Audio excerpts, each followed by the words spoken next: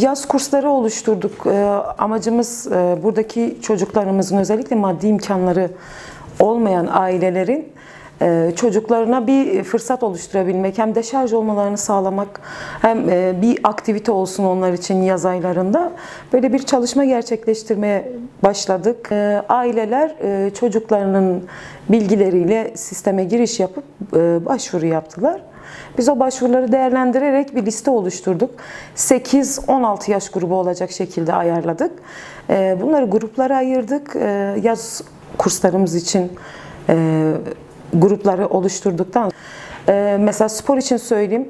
E, sporda futbol, voleybol, handbol, dağcılık e, ve e, atletizm olacak şekilde başlıklar oluşturduk ve çocukları yaş gruplarına göre e, antrenörlerimiz eşliğinde gruplara ayırdık.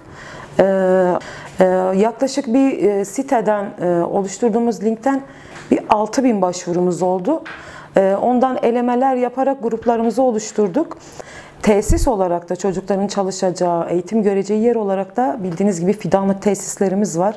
Oraya böyle kompleks bir yapı olacak şekilde oluşturuldu. Spordan sonra bir de sanatsal faaliyetlerimiz var. Sanatsal faaliyetlerimizi de bildiğiniz üzere Hacı Bekir Kültür Merkezi olarak geçen Nuda Kültür Merkezimiz var. Oranın üstünden sanatsal faaliyetlerimizi gerçekleştireceğiz. Bir konservatuarımız var. Belediye bünyesinde çalışan 17 kişilik bir ekip.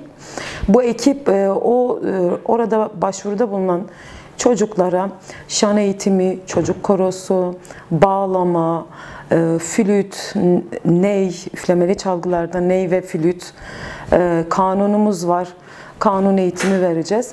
Amacımız burada hem sporda hem sanatta çocuklarımızın yeteneklerini keşfedebilmek varsa sanata ve spora bir yeteneği fark edip buna aileleriyle koordineli bir şekilde çalışarak çocukların yeteneklerine yönlenmelerini sağlamak, ailelerini bilinçlendirerek bu faaliyetler, bu yetenekler doğrultusunda çocuklarımızı bir taşımak, çocuklarımızın bu yaz tatilinde olabilecek, onların hayatını kötü etkileyebilecek her şeyden uzak tutmaya çalışmak.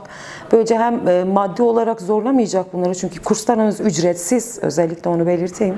Hem ailelere destek amaçlı hem çocukların da kötü ortamlardan, kötü alışkanlıklardan uzak tutabilmek. Çünkü bildiğiniz gibi Van e, bağımlılık konusunda maalesef e, kötü bir e, şeye sahip, e, etkiye sahip çocuklarımız ve gençlerimiz üzerinde.